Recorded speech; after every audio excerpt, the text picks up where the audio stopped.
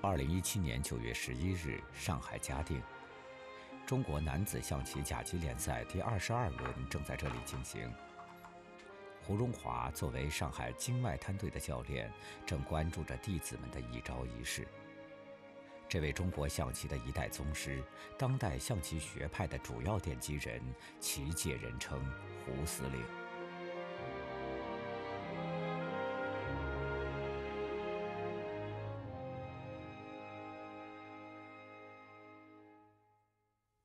一九四五年，上海赵州路一栋普通的石库门，胡荣华出生在这里。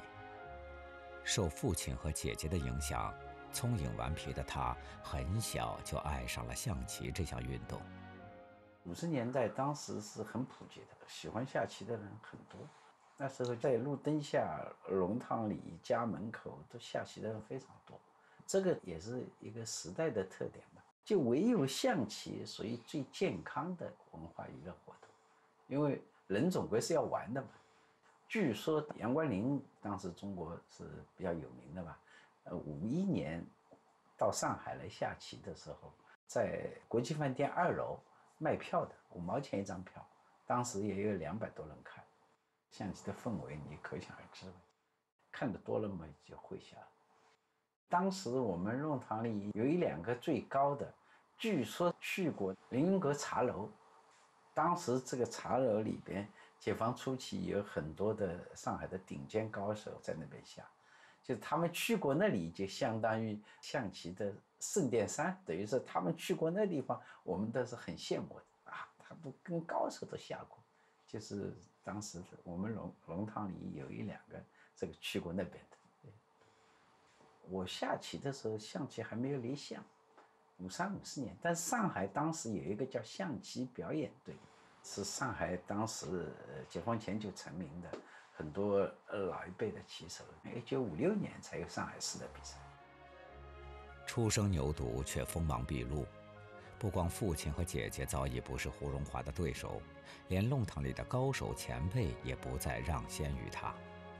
每天一放学，他就往棋摊上跑，痴迷于楚河汉界、车马纵横的世界。当时上海有很多棋摊。路过的都可以上去下，输一盘付两分钱。纸板做的像铜钱一样的，穿上去的，他就是下一盘弄个圈，下一盘弄个圈。我当时最高记录一个多小时，呃，赢了二十多盘。所以这个棋摊的老板一个也是个老，呃，年纪蛮大的，大概五六十岁，很喜欢我去，因为啥？他们平时有的人下一盘半个小时，或者。甚至于半个多小时，他也是赚两分钱。但我去又下得快，而且这个这个路过的，呃，现在讲叫什么？呃，路过的群众嘛，就是爱好者嘛。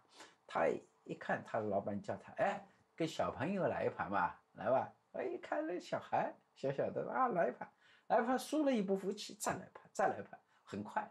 说我一个多小时下了二十三盘，老板嘴巴笑了歪了，那 么一下子这里四毛六。这很快的。母亲担心胡荣华耽误功课，几次把他的棋具丢入火炉。即使这样，也没有打消他对象棋的热情。父亲理解儿子的痴迷，托人找到定居在上海的扬州国手窦国柱。十岁的胡荣华初次登门拜访，窦国柱刚好在睡午觉。胡荣华在门口一等就是几个小时。窦国柱很感动，他成了胡荣华棋艺生涯中的第一位职业导师。我第一个成绩就是一九五七年参加上海的小学生比赛，少年宫举办的，得了第一名。比赛以后认识了上海当时有的名手徐大庆啊、徐天利啊。当时上海表演队的队长徐大庆等于也是我的老师吧。他等于是安排他们在大世界他名手表演，两个人下下完了以后，接下来他们不能一直下。他们比如说这个场地他们包下来要应该是有三个小时的，他们一个小时就下完了，还剩一个多小时。那么就是要观众报名有兴趣上台，等于我当擂主，我就叫应战观众，叫应战来宾，当时叫应战观众，观众有兴趣上来都可以挑战，挑战就跟我下，不是明手跟他下，明手跟他下嘛，他知道肯定他输的嘛，他跟我下都一般跳上台的人很多，很有兴趣。那我是一个礼拜去一次，五八年底的时候，为了备战第一届全运会，上海就成立了。奇类集训队，当时我等于可以说是第一步走上了等于专业道路，跟高手下下完了，一看什么地方下错了，什么地方应该改进的，就这个上海话叫“你张牙的”，感觉天天有提高嘛，棋输了也是有提高。你跟高手下，你才能打开眼界。有很多棋有靠没有高手下出来，你就没有受到启发，不知道下棋原来还是要这样下。师傅领进门，修行在个人。当年上海滩火热的象棋氛围，也涌现了一批天才少年，六龄童、十龄童比比皆是。但只有胡荣华一人能突出重围，成为真正的职业棋手。到六零年的十月份，呃，全国个个人赛就加上第一次的团体赛，那么。领导就下决心让我下了，就是我我就参加了那个个人赛和团体赛的比赛，团体我下第二台，那么第二台大概是一定要进前几名的，才有资格参加个人赛。第一台比如取十名，第二台取四名或者五名，第三台取几名？我当时啊第二台成绩的排名进入了个人赛的决赛。那一年当然是应该说印象最深，就是第一次参加全国个人赛，在第三盘的时候就赢了杨关林嘛。杨关林当时虽然才三十岁出头，但已经是中国棋界一时风头无二的顶尖高手。每次广东队来上海进行表演赛，都一票难求。外号“混世魔王”的杨关林，也是十五岁少年胡荣华心中的偶像。十五岁打败偶像夺冠，对于胡荣华甚至于整个棋界都是一场巨大的地震。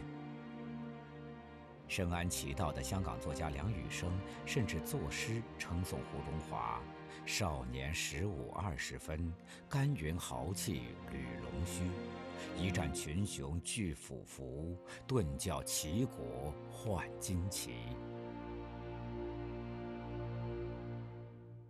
得了冠军以后，兴趣更浓了嘛，信心更足了嘛。但是我也是很冷静，知道当时即使说我得了冠军，从综合实力来说，还是杨冠林比我强啊，呃，那那那这个不可能，你因为因为你得了冠军，水平一下提高了。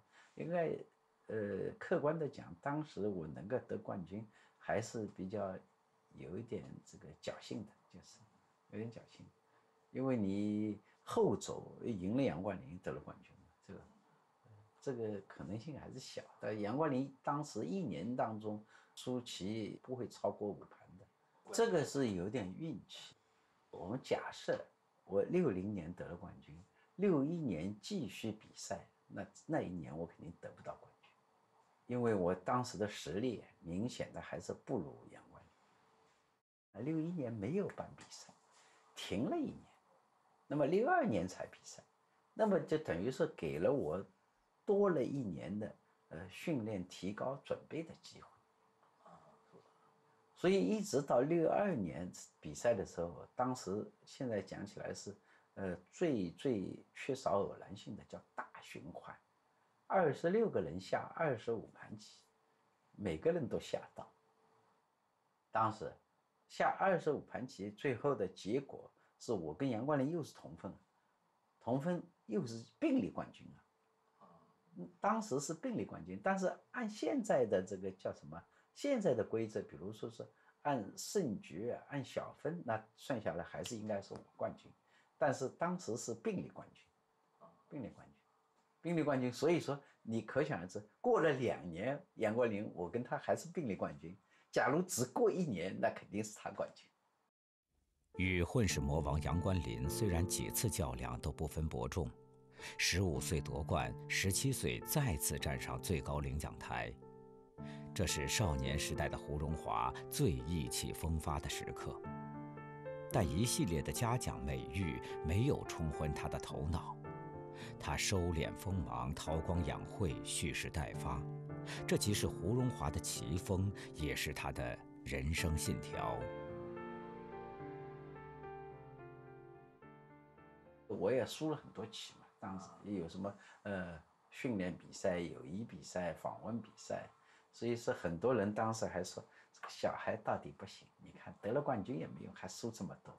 这个我倒是无所谓，我心里想最好让你们感觉到我不行，哎，感觉我不行，我真的比赛的时候才有机会。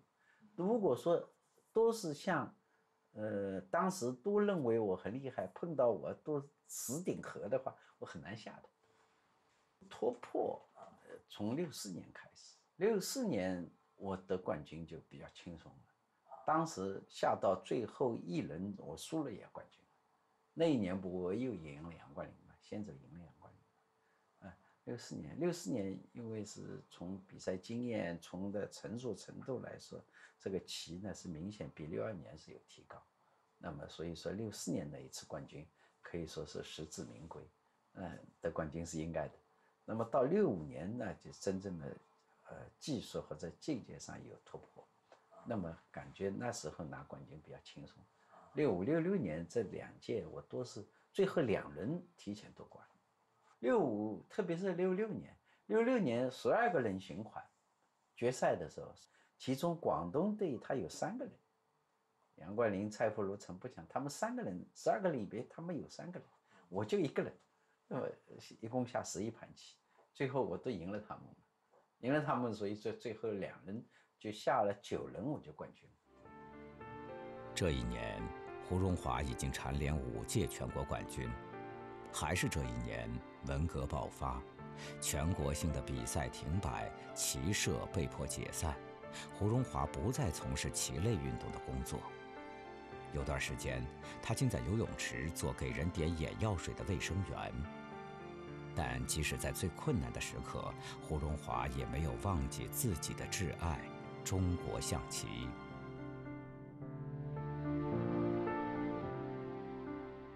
实在有象棋是喜欢，除了比赛，平时有有这个可能，有什么事都能够想棋的时候很多的。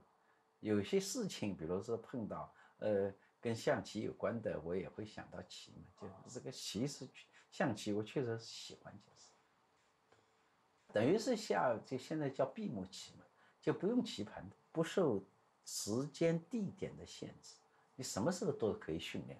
都可以想嘛，就所以所以也是有这个时代特征特点，因为正好这是这个六六年以后停了八年嘛，停了八年，说老实话，当时跟我竞争的一些人年龄都比我大，所以这个八年停下来，他们是不可能提高的，我呢倒是可能也不一定提高，我是可以保持，因为年龄小。那么这个八年呢，我。这个后备力量，年轻一辈再后一代的人就没有培养，那就断层了嘛。假如那八年还是像六六年以前这样的在培养嘛，那我这个要保持这冠军就难了。我我跟我竞争的人都比我老嘛，假如都比我小，那么小的人赶上来的可能性就大一点。闭幕棋的精湛表演，胡荣华不看棋盘，全凭记忆调动棋子。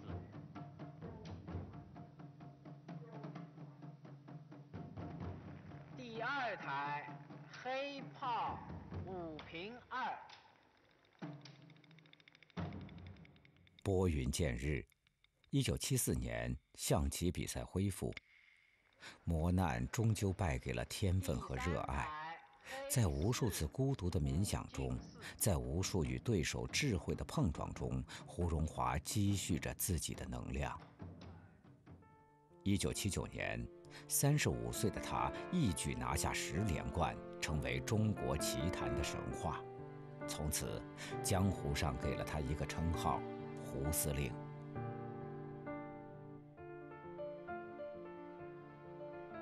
叫司令的时候已经得了世界冠军，已经很迟了。胡司令，我感觉是有个几个原因。一个呢，当时我们谢老一个百岁棋王，他呢当时是在一九二几年的时候，呃，得了一个呃华东地区啊什么地方比赛的冠军。他是自封司令，在在这个呃自己比如封个司令，开玩笑，等于像呃像这个幽默一样。那么各个省的冠军就是封为军长、师长什么的，这是。那么我这个司令呢，不是有个胡司令嘛？胡长奎嘛，也是胡司令。我年纪不大，但是得了冠军了。那么有些年纪跟我差不多的人呢，他们感觉称呼不好称呼，好像是怎么叫呢？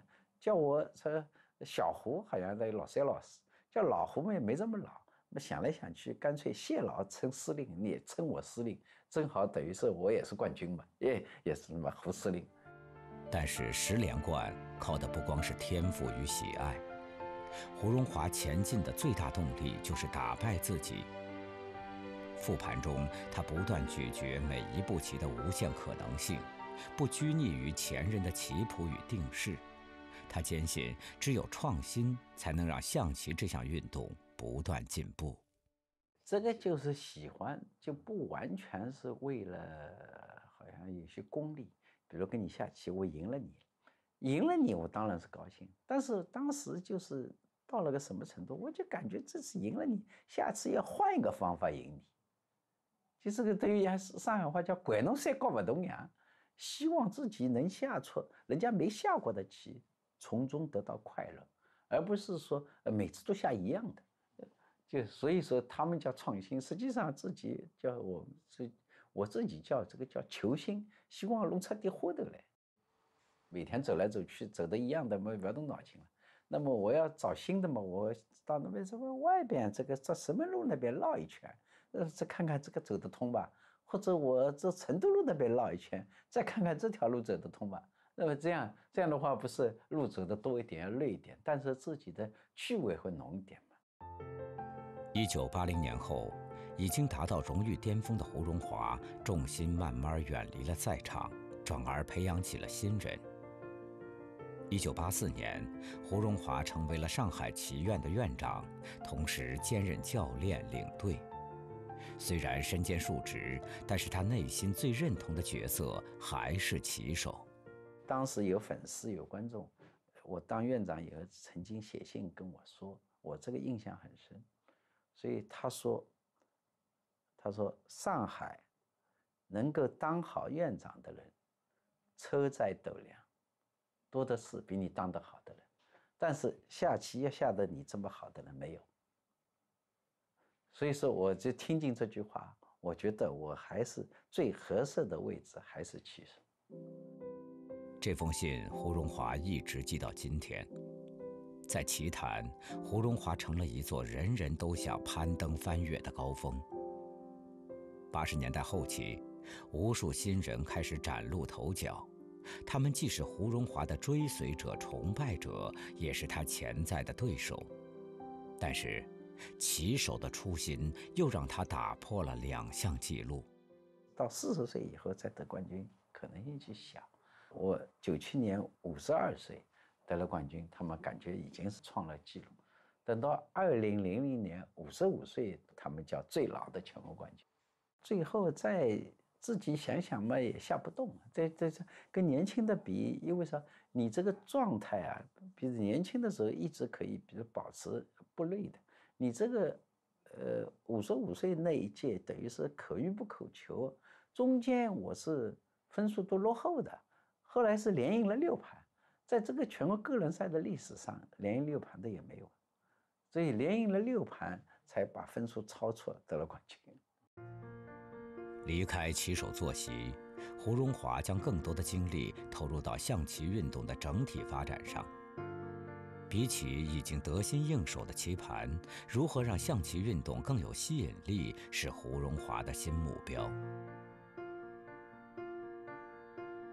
第二十二轮象甲联赛的四轮比赛结束了，四局平局。根据规则，象甲联赛胜一局得两分，平一局一分。这种并不激烈的比赛规则，让许多选手觉得，与其全力拼一胜，不如安稳得一分。这种比分和结果让本就寥寥无几的观众兴趣索然，这也正是胡荣华对象棋未来的担忧。我就是理解象棋，你比如说是，呃，它本身是一个固有的规律，比如说是会和棋多一点，但是你作为一个体育竞技项目，你还担负一个观赏性、表演性，你必须要更多的观众，呃，更多的粉丝来喜欢你。那么你要观赏性的话，你就不能完全太客观的讲这个象棋。比如说象棋应该下得好，应该什么和棋，应该什么？那观赏性实际上是很重要的。他们有一些不理解，我相信慢慢的说不定会随着时间的推移会理解。将来你推广发展的方向应该是能够争取到越来越多的人喜欢象棋来看你，你要精彩嘛，要好看嘛。那么你。肯定是老是，比如说是偷懒，两个人合棋合棋，不是说合棋里边一定没有精品，但是两个人尽力了，这个合棋是有精品的。黑手金庸的小说里面叫四两拨千斤嘛，就是你必须有一方要发力，他才能借力打力，啪把你摔出去。就像你这样的，他武林高手，你不推过去，他没法把你摔出去。那么两个人都这样顶着都不过去，等于象棋大家子不顾无都不过河，你怎么有表演？那我说你规则上能不能考虑啊？就是比如说抽签，抽到这一轮你必须发力，不发力就判输，那么不是就精彩了吗？毛主席也讲高明的武士后发制人，你后发制人都有个条件，必须人家先发制人要过来，人家不过来你怎么弄他？两个人如果都是保守的。这个就没法表演。胡荣华的象棋生涯几乎没有遗憾，唯一使他放心不下的就是中国棋坛何时能再现全民爱棋的盛况。退休后的他依旧时常出入棋院，每一位在棋院学习的棋手，无论辈分段位高低，都有机会与这位棋坛传奇博弈一番。胡荣华没有一点架子，只是个循循善诱的老者，为棋坛的后辈们指点迷津，为年轻人的妙棋激赏不已。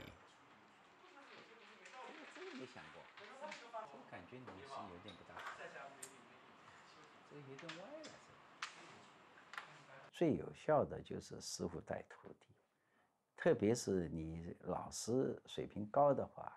应该因为什么道理？他这个棋这个东西啊，你即使说现在他们电脑呃有软件，但是每个人的特点不一样。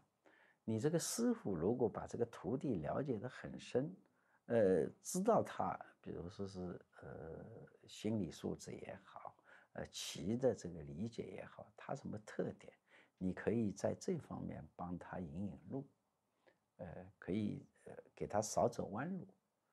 培养徒弟应该比自己下更难，因为你这个自己下只要管自己，我自己又是运动员又是教练，我自己了解自己，要找到最佳方法。但是这个徒弟有的时候，你跟他说沟通，还不一定完全能沟通得了。他因为到了这种水平，他也自己有主见的，对他如果没有主见，得不了冠军。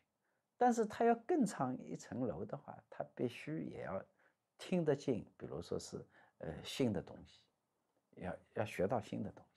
他如果保持只保持原来的，这个要更上就难了。所以说某种程度，我就感觉到教了徒弟，要教到跟自己一样，比自己下更难。如今。以七十二岁高龄的胡荣华，依旧割舍不下对象棋的热爱。无论是棋院俱乐部的全国联赛，还是对于年轻棋手的培养，他都亲力亲为，奋斗在第一线。胡荣华先后为上海培养出孙永征和谢晋两位年轻的八零后全国冠军和象棋特级大师。作为棋手，他已经卸下使命。可是，在培育象棋人才和对象棋奥秘的探索上，他还是那个十五岁整装待发、无所畏惧的少年。